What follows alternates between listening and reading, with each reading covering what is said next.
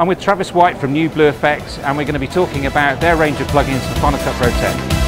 NAB is brought to you by X Effects, Final Cut Pro 10 plugins from industrialrevolution.com. Travis, the Final Cut Pro 10 ecosystem is quite big. There's a lot of plugins, but Yes.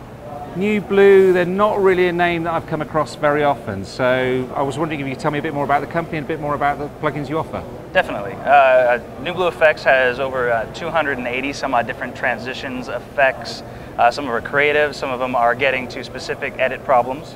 Uh, we have uh, creative effects like um, you know fi- film, uh, film blurs and you know old film style, painterly cartoon, those kinds of things.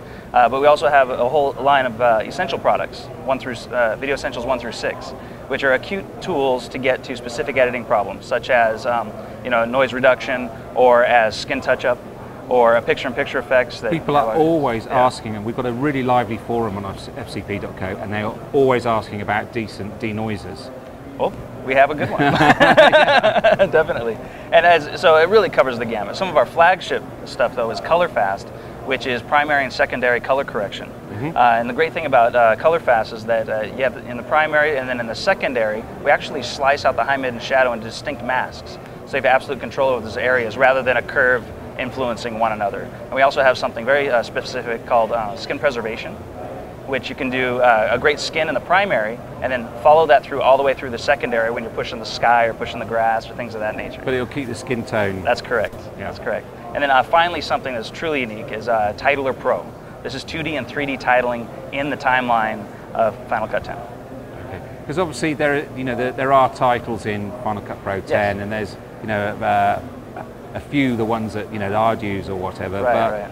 Um, rather than people having to go and build their own one in motion in, in 3D as well. Right. Well, there's no 3D objects in, in motion really.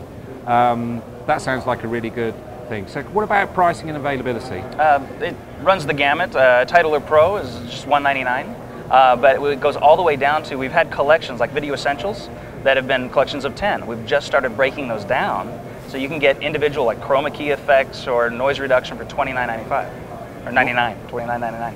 So, for $30 noise reduction. Yeah. Sounds fantastic. Well, Yes, that's a good exactly. answer to a lot of questions on, on, the, on the. Definitely. Okay, well, thanks very much for spending the time with us. We'll put a link up and hopefully people can go and have a look at them for themselves. Uh, please do. Uh, newblueeffects.com.